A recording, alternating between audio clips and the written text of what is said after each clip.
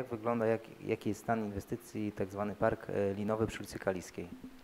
E, został ogłoszony przetarg. E, zgłosiła się jedna firma, która miała, złożyła ofertę na bardzo wysoką kwotę przekraczającą nasz budżet na ten cel i została unieważniona.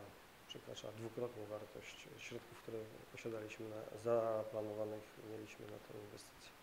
Będzie ogłoszony teraz drugi przetarg?